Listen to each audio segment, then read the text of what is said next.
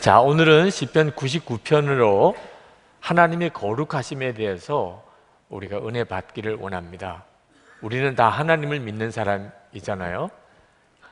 그러므로 우리에게 있어서 하나님이 어떤 분이신가를 아는 것은 대단히 중요합니다. 하나님은 천지를 창조하신 분이십니다.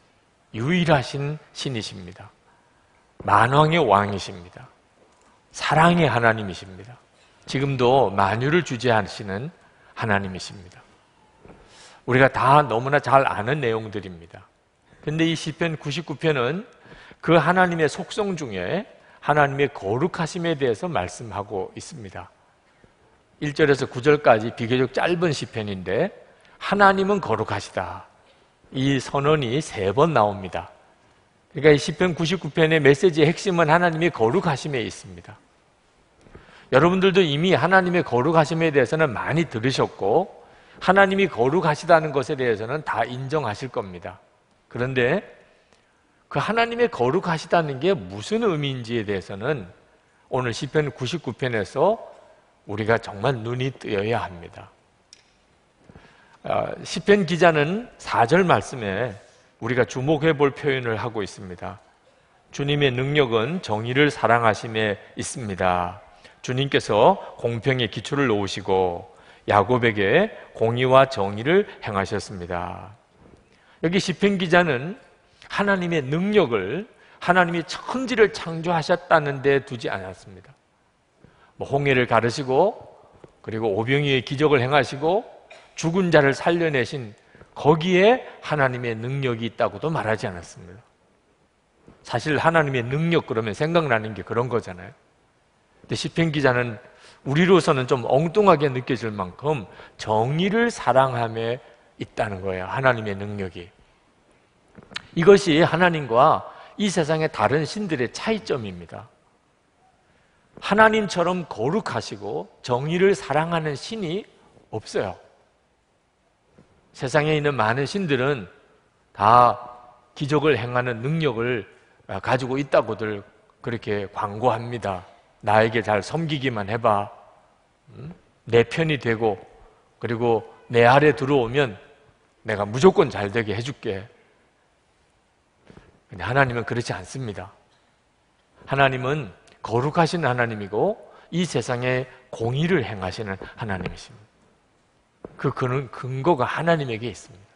이게 하나님의 위대하심이라는 거예요. 그런데 이 정의를 사랑하신다는 말이 정확히 무슨 의미일까? 얼핏 생각하면 하나님이 정의를 굉장히 강조하신다.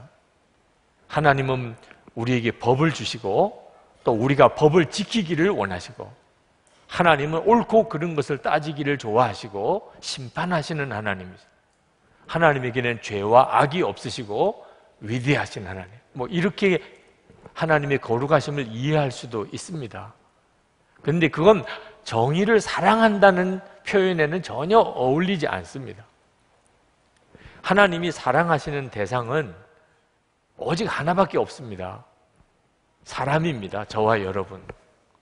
하나님이 사랑하시는 대상은 우리 사람입니다. 그러므로 하나님이 정의를 사랑하신다고 표현하신 것은 결국은 우리를 사랑하신다는 것의 또 다른 표현입니다. 하나님은 어떤 정의 자체를 사랑하시는 것이 아니고 우리를 위해서 정의를 사랑하신다는 것.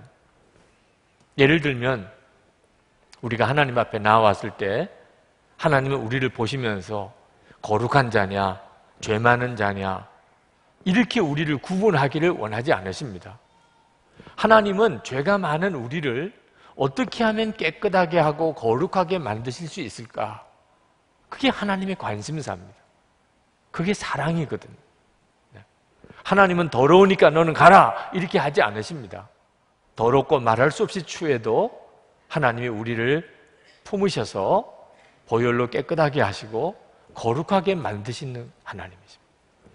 그게 정의를 사랑하시는 겁니다.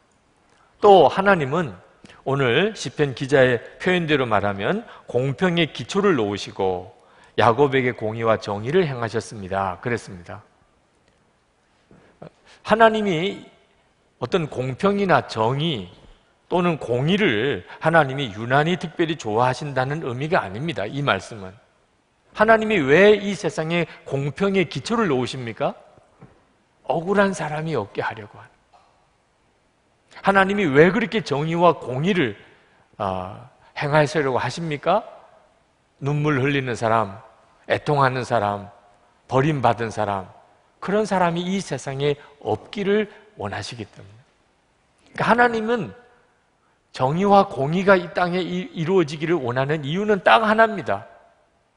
힘이 없어서, 배운 게 없어서, 가진 게 없어서, 억울한 일을 당하고, 멸시를 당하고, 소외를 당하고, 고통을 당하는 사람, 그래서 눈물 흘리는 사람이 한 사람도 없기를 바라는 뜻, 뜻이 바로 하나님께서 정의를 사랑하시는 것입니다. 많은 성도들이 다 거룩해지려고 애를 씁니다. 안 그런 분은 없으시죠?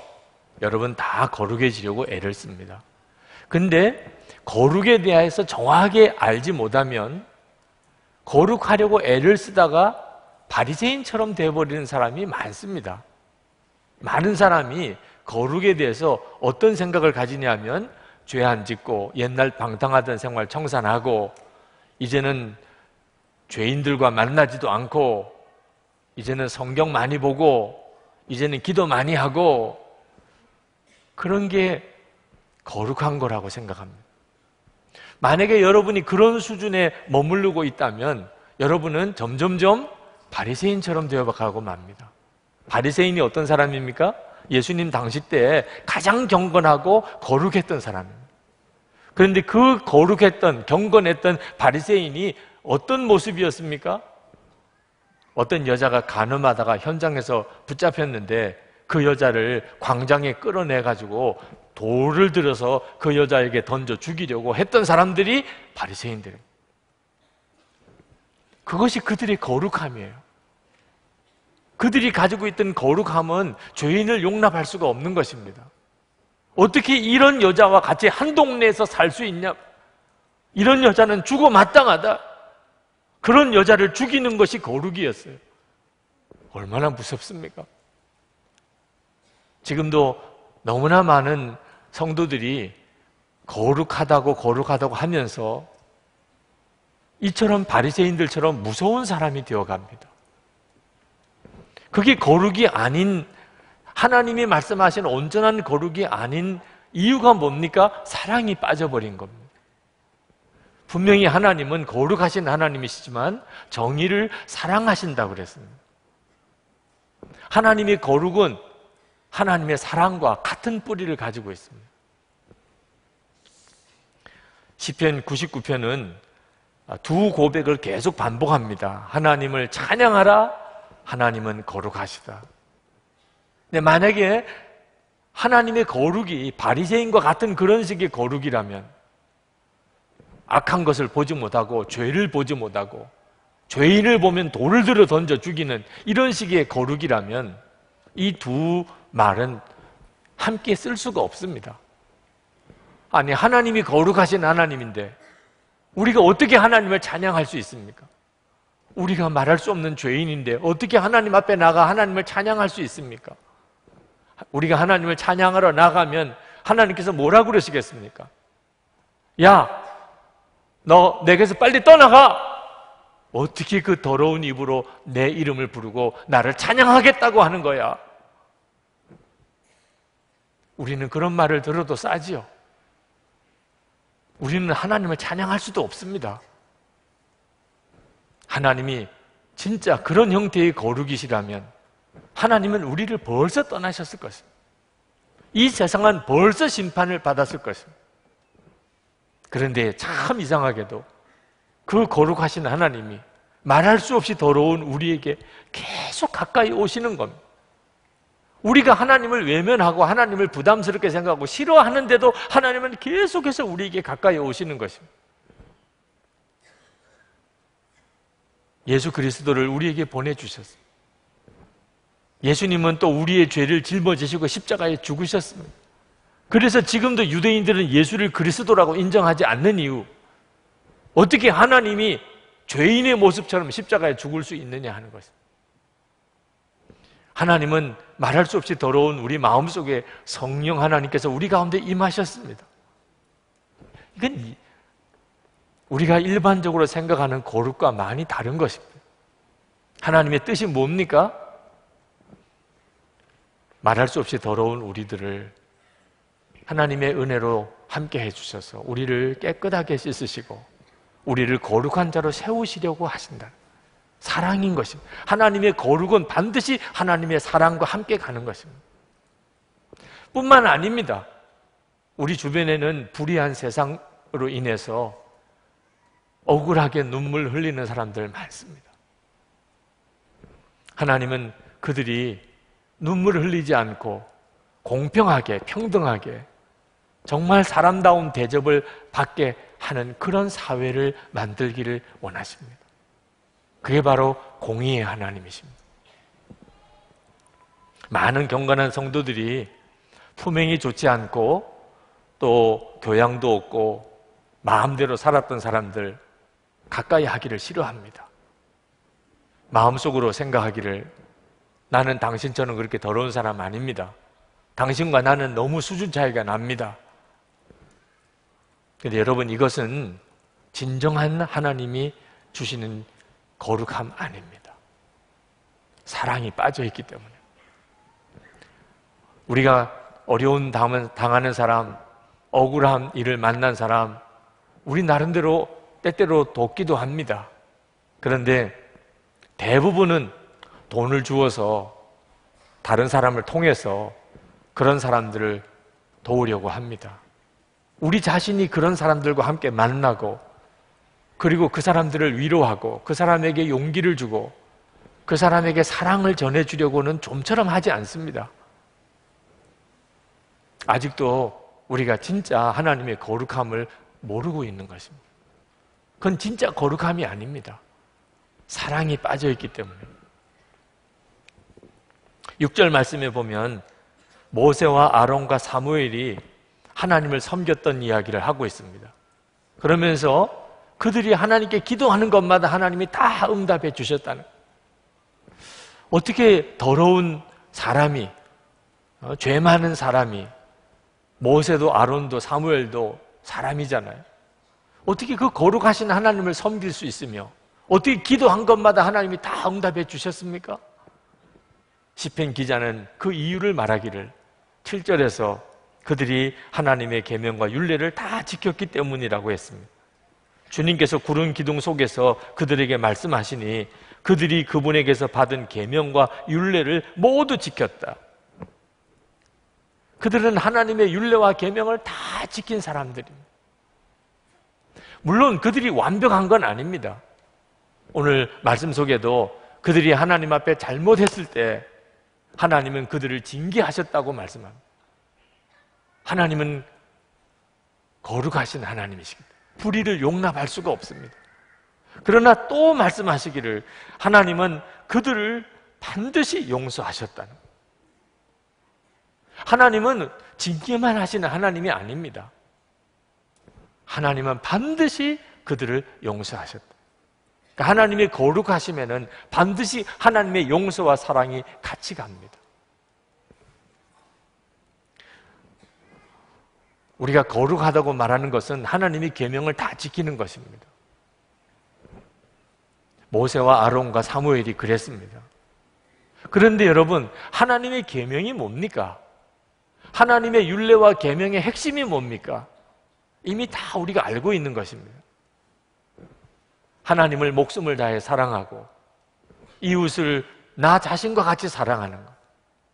이 두 가지 속에 다 있다고 그랬습니다. 하나님의 계명. 그러니까 하나님의 계명, 윤례를 다 지켜 행했다는 말은 무슨 뜻입니까? 하나님을 사랑하고 이웃을 사랑하는 자였다는 뜻. 거룩함은 사랑과 같이 가는 것입니다.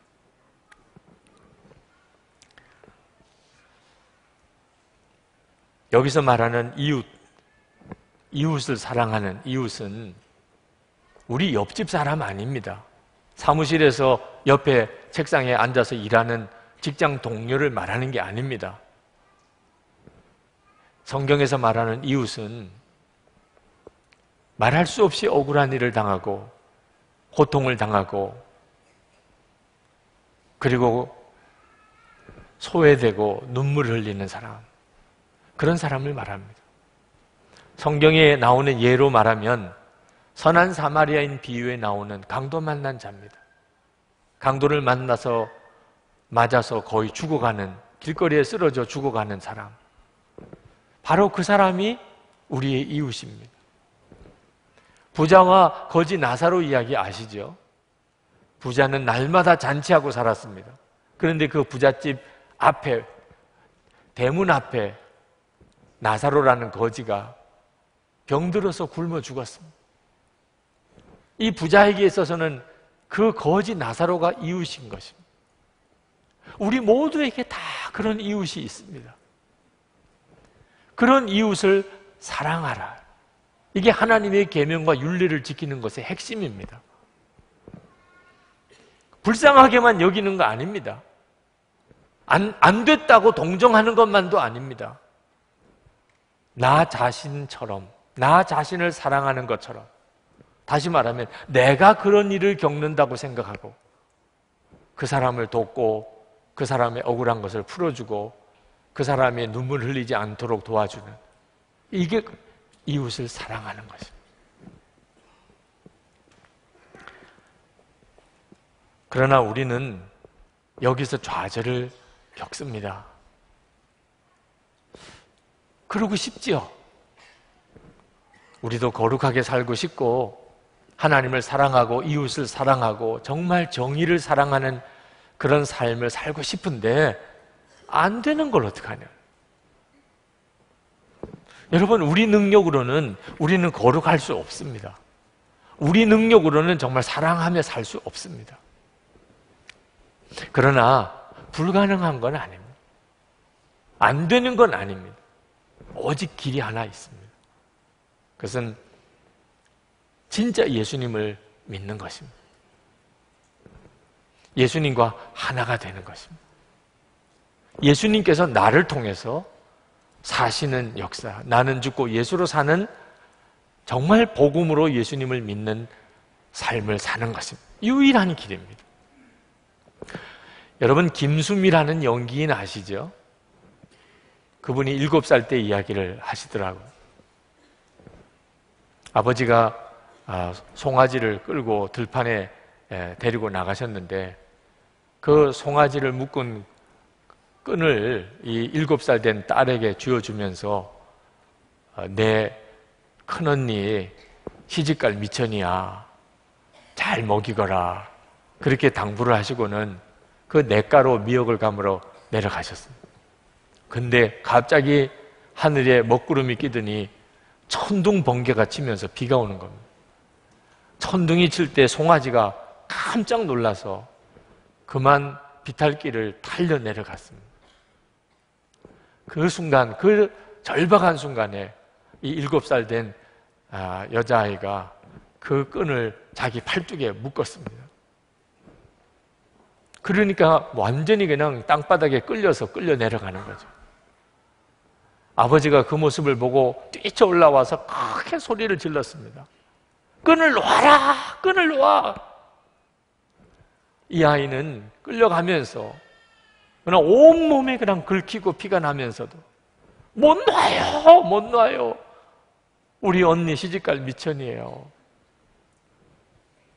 결국은 아버지가 달려와서 송아지를 붙잡음으로 상황은 끝났지만 아버지가 그 일곱 살 된 딸 언니 시집갈 미천 아, 이기 때문에 자기 몸은 만신창이가 되면서도 끝까지 끈을 놓지 않았던 그 딸을 부둥켜 안고 우셨다고 그랬습니다.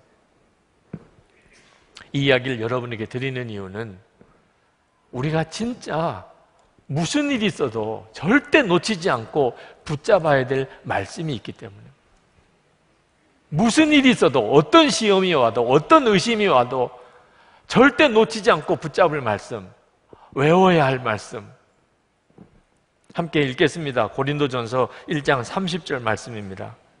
너희는 하나님으로부터 나서 그리스도 예수 안에 있고 예수는 하나님으로부터 나와서 우리에게 지혜와 의로움과 거룩함과 구원함이 되셨으니 여러분 이미 끝난 이야기입니다. 우리가 거룩하냐? 끝난 이야기입니다. 예수 그리스도 안에서 이미 끝난 이야기입니다. 우리가 예수님을 진짜 믿으면 그러면 우리는 예수님과 온전히 연합한 자가 된다는 뜻입니다. 그러면 예수님께서 우리의 지혜와 의로움과 거룩함과 구원함이 되셨습니다. 이미 이루어진 일입니다. 우리가 할 일은 믿는 것 뿐입니다. 이것이 예수 믿는 것입니다. 무슨 일이 있어도 놓치지 말아야 될 말씀입니다. 하나님은 우리에게 거룩하라고만 말씀하시지 않았습니다. 우리를 거룩하게 만들어 주셨습니다. 예수 그리스도를 믿는 것입니다. 하나님은 우리에게 거룩하라고만 말씀하시지 않았습니다. 거룩한 성령께서 우리 안에 오시게 하셨습니다. 그래서 우리를 거룩하게 살게 만드셨습니다. 이 세상에 어떤 것도 깨끗한 것과 더러운 것이 이렇게 만나면 깨끗한 게 더러워지게 됩니다. 오염된다고 말하죠. 그런데 깨끗하신 주님, 거룩하신 주님과 말할 수 없이 더러운 우리가 만나면 우리가 깨끗해집니다. 우리가 거룩해집니다. 이거 진짜 놀라운 일이에요. 정말 놀라운 복음의 능력입니다. 거룩하신 주님과 내가 접촉하면 내가 거룩해져요. 이런 일은 자연 세계에 없습니다. 오직 십자가의 능력으로만 되는 일입니다. 보통 일반적인 종교에서는 거룩한 어떤 신성을 어, 경험해 보고 싶어서 사람들이 아, 산당 그 신전에도 가고 또 신상 앞에도 갑니다. 그런데 하나님은 정반대로 하셨습니다. 거룩하신 하나님께서 말할 수 없이 더러운 우리 속에 들어오심으로 우리에게 하나님의 거룩하심을 알게 하셨습니다.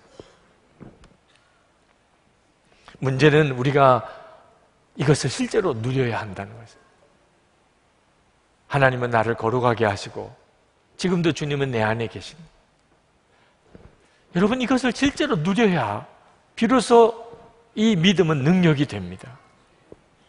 그래서 우리가 영성 일기를 쓰는 것입니다. 주님이 내 안에 오셨기에 나도 24시간 주님을 바라보는 게 마땅하잖아요. 그래서 매일 매일 일기를 써보자. 목표는 하나입니다. 거룩하신 주님, 나를 거룩하게 하시는 그 주님, 그 주님을 나도 24시간 바라보려는 겁니다. 이 일을 지난 한 7년 동안 우리 교우들이 훈련을 받으며 왔습니다. 꽤 이 일이, 이 사역이 유명해졌어요. 다른 교회에서 또는 다른 나라에서도 관심을 가지고 와서 그 일에 대해서 이야기해달라고 말하는 요청이 많이 옵니다. 어느 모임에 갔더니 저를 처음 뵙는 분이 아 일기 쓰는 목사군요 이러시더라고요. 네. 이제는 정말 많은 사람들이 영성일기 쓰고 24시간 주님 바라보는 것에 대해서 알고도 있고 관심도 많습니다. 그런데 좋은 뜻으로만 관심을 가지는 것만은 아니더라고. 우려하는 분들도 있으세요. 걱정하는 분들도 있으세요. 비판하는 분들도 있습니다. 그분들이 걱정하는 것은 이겁니다. 우리가 24시간 예수님을 바라보고 그리고 그것을 매일 일기로 써가면서 주님과 동행하려고 하는 것이 결국은 주님만 바라보고 마는 거 아니냐. 세상은 얼마나 불의하냐. 얼마나 더러우냐. 얼마나 고통스러운 사람들이 많으냐. 그런데도 당신들은 예수님만 바라보느냐? 주님과 하나 된 것만 좋으냐? 그분들이 비판하는 것이에요. 근데 저는 믿습니다. 정말 확신합니다. 우리가 예수님과 온전히 연합하고 하나가 되어질 때 우리는 반드시 소외된 사람, 억울한 사람, 고통당하는 사람을 돌보게 됩니다. 그 힘과 능력이 주님으로부터 오기 때문에 주님을 바라보자고 하는 것입니다. 여러분, 여러분들이 주님과 온전히 동행하는 사람이 되면 정말 주님을 바라보고 살게 되면 여러분 주변에 고통당하고 눈물 흘리고 억울한 일을 당하고 소외되고 버림받고 그런 사람들을 절대로 외면할 수가 없습니다. 왜냐하면 주님은 바로 그런 사람들의 친구셨으니까. 주님은 그런 사람들의 친구셨어요. 내가 그 주님을 바라보는데 어떻게 그걸 외면할 수 있겠습니까? 만약에 우리가 주님을 바라보며 늘 주님과 동행한다고 하면서 그냥 주님과 하나 되는 것만 즐기고 세상은 아무 상관없고 어려움 당하는 사람에 대해서 무관심하다면 그건 진짜 신비주의죠. 저는 우리 교회 안에 어려운 이들을 돕는 여러 가지 일들이 계속 확산되는 일을 참 감사하게 지켜보고 있어요. 제가 담임 목사로서 이거 하세요, 저거 하세요 하지 않았어요. 주님을 바라보는 일을 우리가 계속해 나가다 보니까 지금 우리 교회 안에 어려운 이들을 돕고 외로운 이들, 소외된 이들, 어, 고통당하는 이들을 섬기는 일들이 얼마나 많아졌는지 모릅니다. 그걸 일일이 다 설명을 드리면 오히려 자랑같이 될까봐 걱정일 정도. 여러분, 매일 우리 주목자들을 식사 대접하는 거 아시죠? 11시에 한번 와 보십시오. 그분들을 주님을 대하듯이 섬기는 우리 교우들이 있습니다. 그게 거룩한 것이에요. 박보영 목사님에 대해서 많이들 아실 텐데 그분이 그렇게 주변에 가족들, 친척들 다 목사 되기를 바라고 목사가 되라고 기도했는데도 불구하고 세상이 좋아서 세상 짝하고 세상에서 즐기며 살았다가 39살에 그가 하나님의 부름을 깨닫고 목사가 되기로 결심을 합니다. 의사가 되었던 사람. 자기를 사랑하시고 목사 되기를 그렇게 오래 기도하셨던 할아버지 찾아가서 할아버지 저 목사가 되기로 했습니다. 그렇게 고백할 때 그 할아버지 고 박용익 목사님 얼마나 기뻐하셨는지 모른대. 그러면서 목사가 되겠다고 늦게 결단한 그 손자에게 이렇게 당부해 주었습니다. 사랑할 수 없는 사람을 사랑하시게, 용서할 수 없는 사람을 용서하시게, 겸손하게 낮은 자리로 내려가서 섬기시게, 어떤 변명도 하지 마시게, 그리고 성자가 되시게, 손자지만 주의 종의 길을 가는 아, 사람이니까 깍듯하게 경칭으로 그렇게 권면해 주셨고 이것이 그 목사님의 평생의 저명이 됐습니다. 1997년에 저 경기도 평택에 있는 안성에서 교회를 개척했습니다. 교인 한 사람도 없었을 때입니다. 밤 1시까지 교회에서 기도하고 아, 집에 들어갔는데 3인조 강도가 집에서 기다리고 있었어요. 현관을 문을 여는데 세 명이 칼을 들고 불쑥 어, 다가와서 목에 배에 칼을 들이다 밀고 돈을 내놓으라는 겁니다. 근데 그 순간에 어찌 그렇게 마음이 평안해지는지 나를 빨리 찌르시오. 내가 빨리 죽어서 하나님께 가고 싶습니다. 강도들이 당황했어요. 한동안 말을 못하고 있더니 결국은 칼을 거두고 고개를 숙였습니다. 그래서 그 세 사람이 첫 교인이 됐어요. 그들이 전도에 온 사람들이 안성의 조폭들입니다. 불황아, 깡패, 정말 도둑질 하는 사람들. 그 사람들이 모여서 공동생활을 시작을 한 것이 목사님의 목회의 시작입니다. 한 번은 목사님이 너무 몸이 아파서 방에 이렇게 누워 있는데 누가 문을 살며시 열고 들어오더래요. 그렇게 사랑해 주었던 아이입니다.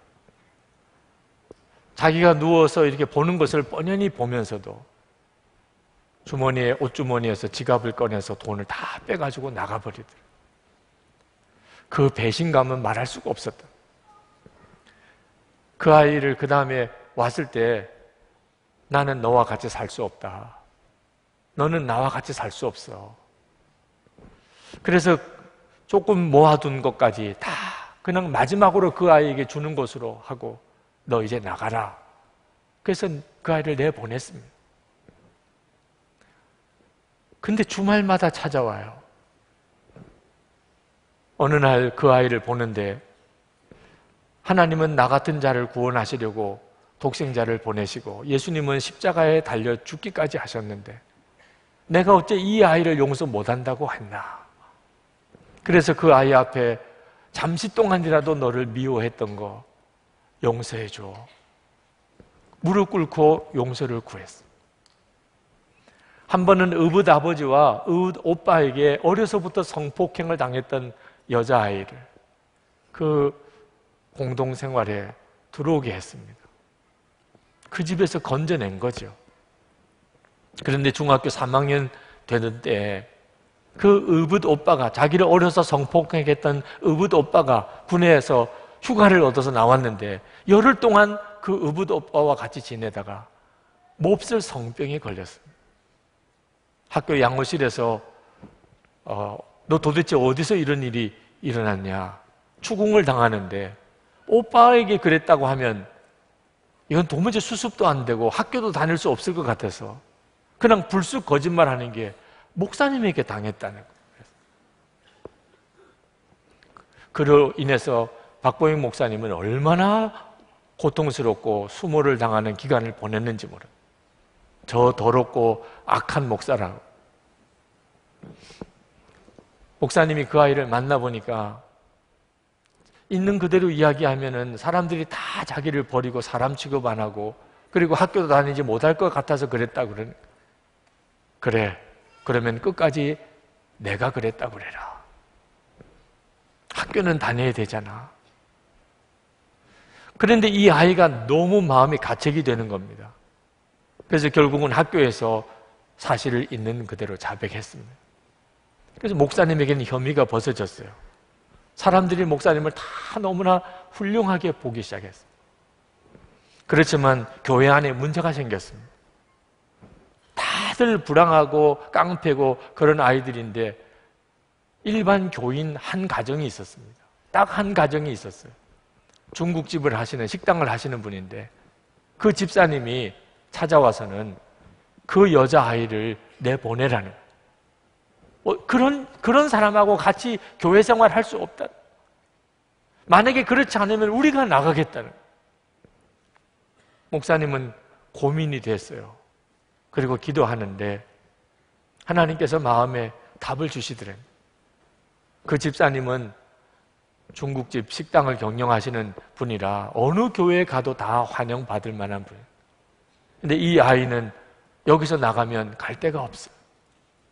그래서 그 집사님께 집사님 집사님은 가실 교회가 많겠지만 이 아이는 갈 데가 없습니다. 저는 이 아이를 붙잡을 수밖에 없습니다. 그 집사님은 그냥 교회를 나갔습니다. 그 다음날 새벽에 새벽 기도 끝나고 그 집사님 경영하는 중국집 식당에 신방을 가셨습니다. 그리고 정말 앞으로 하나님이 복을 주셔서 잘 살게 되기를 간절히 축복해 주었다는. 여러분, 이 박보영 목사님의 이런 이야기들을 들으면 어떤 느낌이 드십니까? 이게 바로 정의를 사랑한다는 거죠. 박보영 목사님도 옳고 그른 게 분명하신 분입니다. 그는 죄와 악에서 정말 완전히 떠나신 분입니다. 그는 정말 거룩하게 살기를 원하시는 그러나 그것은 말도 안 되는 거짓말하고 죄 짓고 방탕한 생활을 하는 그 불황아들을 멀리 내쫓아 버리는 게 아닙니다. 오히려 그들을 더 품는 거예요. 뜻은 그들을 어떻든지 바로 세우려고 그들이 깨끗하게 정상적으로 그리고 정말 사회에서 공헌하며 살 수 있도록 그들을 세워주는 것입니다. 결국은 그렇게 해서 그 아이들이 신학생도 되고 목회자도 되고 일반 직장인도 되고 정말 대학생도 되고 이건 정말 놀라운 일이죠. 이게 하나님이 원하시는 일인 것입니다. 박보영 목사님은 어떻게 그렇게 할 수 있었을까요? 목사님 자신이 말할 수 없이 더러운 자였는데 하나님께서 예수 그리스도를 통하여 자기를 거룩하게 하셨기 때문에 하나님이 자기를 그렇게 하셨습니까? 그리고 하나님이 자기도 그렇게 하기를 원하시니까 그렇게 할 수 있었던 것입니다. 여러분 우리가 하나님의 거룩한 자녀라고 하는 것을 그저 식사기도 하는 정도 하나 가지고 밖에는 사람들에게 알리지 못한다면 말이 됩니까? 식사기도 하는 것 정도 하나밖에는 우리가 진짜 하나님의 자녀라는 것을 다른 사람이 알 방법이 없다면 이건 정말 말이 안 되는 거죠. 억울한 사람, 고통당하는 사람, 정말 가난한 사람, 배우지 못한 사람, 그들을 주님의 마음으로 품고 나인 것처럼 그를 사랑하고 그들의 눈에 눈물을 씻기고 그들을 온전히 바로 세워주고 우리 사회가 그런 사회가 되도록 노력하는 그때만 세상은 하나님의 거룩하심을 보게 됩니다. 저와 여러분이 모두 다 그리 되기를 축복합니다. 우리 오늘 이 시간 함께 기도하실 텐데 우리 간절한 마음으로 기도하십시다. 하나님, 저를 거룩하게 해주신 것에 대해서 감사합니다. 그리고 저도 주님의 마음을 품고 정의를 사랑하는 자, 세상에 나가서 억울하고 고통당하고 소외되고 버림받은 이들을 살펴주고 사랑하고 그들의 억울함을 풀어주는 일을 하는 자가 되게 해주옵소서. 우리 같이 기도합시다. 은혜와 사랑이 충만하신 하나님.